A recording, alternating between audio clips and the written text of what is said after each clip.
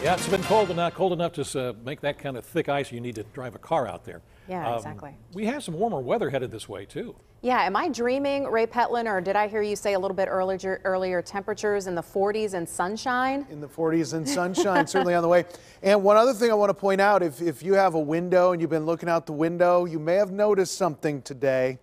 The sun set at 6 o'clock for the first time in a long time, and the days are only getting longer. We're getting closer to spring we have a little winter to get through first, and that's uh, mainly uh, going to be sequestered to the ridges. We do have some light snow that's going to try to pass through Pittsburgh tonight, but this is not going to cause many issues. Now, getting to the south, you can see getting up into Preston County, this is where we have some of the heavier snow right now. Just a few flakes trying to show up towards Waynesburg and Washington. And a little snow that's going to push in towards New Castle, towards Ellwood City, towards Beaver, uh, towards Hookstown, Aliquippa. That's going to get a little brush with that snow as well. So we have a little more to get through tonight, but for most of us, it's going to amount to an inch or less. And in most cases, we're talking the or less. As you get up into the ridges, can't rule out another inch or two before this snow comes to an end. So we're going to be dealing with this through the night tonight. Futurecast here shows that the snow just kind of scattered around, especially up in the ridges. You get that push of winds up the ridges and that squeezes out that little extra moisture. We call that orographic lift. You call it snow. It's coming down as snow because of that. Excuse me. And we're going to keep that snow on and off through the night and into the day tomorrow. So we're, we're not quite done with the snow. It's just going to be light and sporadic and not causing too many issues for the day tomorrow. Once we get into the weekend, some pretty quiet conditions take over, but cloudy conditions stick with us. We'll get a few peeks of sunshine on Sunday.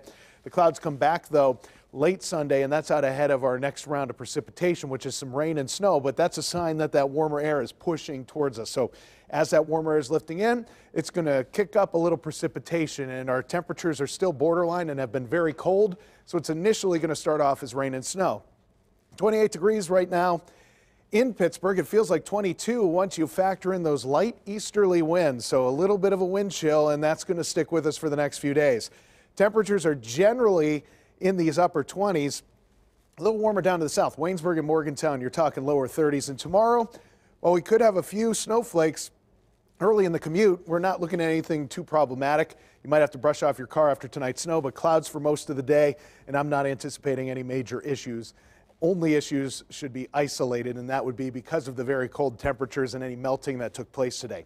25 tonight, a few light snow showers around, then into tomorrow. We'll get those temperatures back to the low 30s, well below the 40 degree average for this time of year, and this does come with a few flakes attached. And look at the next seven days.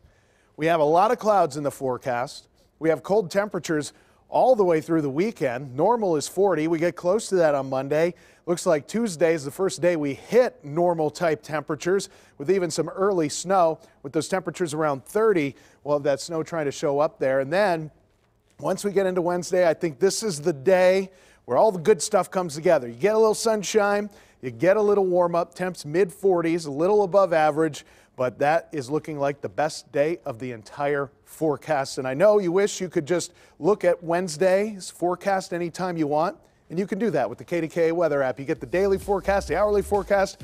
You can look at the daily forecast and just, just pay attention to Wednesday if you want to, all for free. Search CBS Pittsburgh in the App Store and Google Play.